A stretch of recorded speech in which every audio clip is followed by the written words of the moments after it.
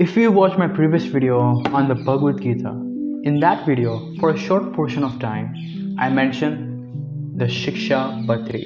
They also talked about Shriji Maharaj and the Shikshapatri. And if you don't know what the Shikshapatri is,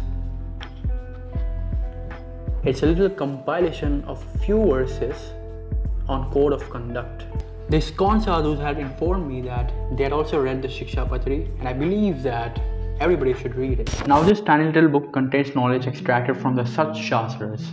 Sat meaning true, virtuous, good, etc., and Shastras meaning scriptures. Therefore, in spite its tiny and little size, the nectar of life it contains truly phenomenal. Now, the Shikshapatri is meant to be read every day in the morning while offering puja to the Lord. I've also been reading it since years now, but the whole point is that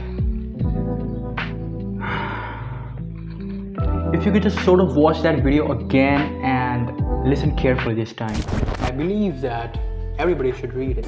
Hence, everybody should drink the nectar that is there in the Shikshapatri. But the problem is that the English translated version is not available everywhere. It's not there in the e-stores. However, even if you do manage to lay your hands on it, it's not some fairy tale that you read sitting in your living room, sipping cups of coffee alongside. No, you need to properly understand what's written in the Shikshapatri, why it's written in the Shikshapatri, and how to implement it in our daily life.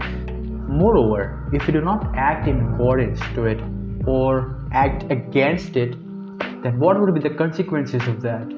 Similarly, if we abide to the Shikshapatri, then what sort of perks and profits do we achieve? I understand there are many questions arising right now which will be answered in the next couple of videos.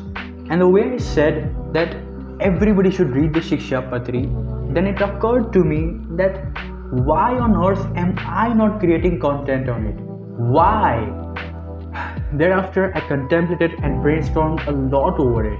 Whether should I make content or not? If I did, then what sort of videos would I be making? And finally, after all the thought process, I decided to just give it a shot. Thus, here I am announcing the Shikshapatri series. Therefore, it becomes a huge responsibility on my shoulders and it becomes a necessity since I am creating the series. I, Harry Patel, pledge to deliver unadulterated texts written by Shriji Maharaj. You see, my sole intentions are to propagate righteousness in the society and in this case scenario present Shriji Maharaj's work in a unique manner finally, here's a little spoiler of the series. In the next two upcoming episodes, we'll learn about the Shikshapatri and what's in it for us if we abide to it. Also, a little about the author Shriji Maharaj. Thank you so much for watching this video. Tune in by subscribing and make sure to press the bell icon so that you do not miss the next update. Agya Chatau Jai Jai Krishna, Jai Swaminarayan.